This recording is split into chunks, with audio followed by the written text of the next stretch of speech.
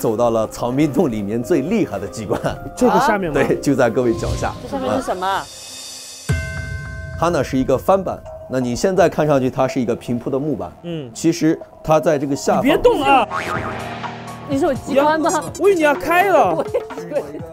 那么这个下面它是一个木轴去控制的，相当于我们过去所玩的跷跷板一样，踩中左右两边都会往下掉，来多少掉多少。哦，这个深度在过去咱们的专家测量呢，大约在十丈左右。三十三十米，很深很深。就说现在这底下有三十米，对，所以这个里面，所以这个里面它是藏兵洞里面相对来说最厉害的机关。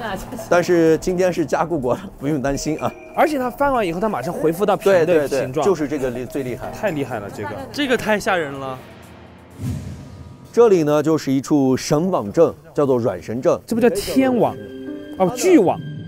它呢杀伤力并不是很大，但是它的作用主要是跟敌人打心理战的。通过前面的机关和陷阱来到这里，你看上去它非常好走，但你也不敢贸然前进了。他觉得前面还有东西。对对对，通过神稳阵，我们接下来要面临的是各位要做出生死抉择的一刻。生死门，你不是哎，对，来了生死生死门，我们会看到中间的一扇门控制着两个动荡，它呢一左一右会决定生死。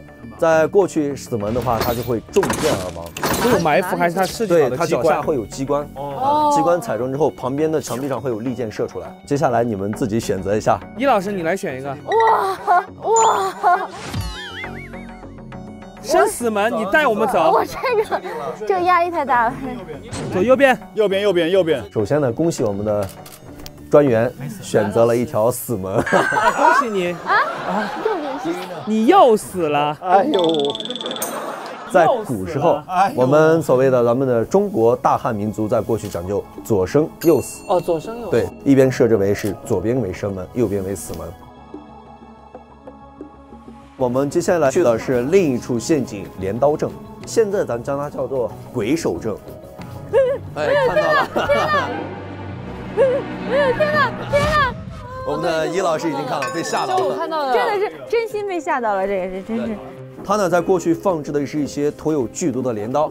那么各位可以想一下啊，就是如果我们是敌人的话，那么我们进来之后，光线比较暗的时候，我们会扶着墙走。一旦扶着墙走，镰刀会把敌人的腿割伤，会使敌人重度身亡。越走越矮。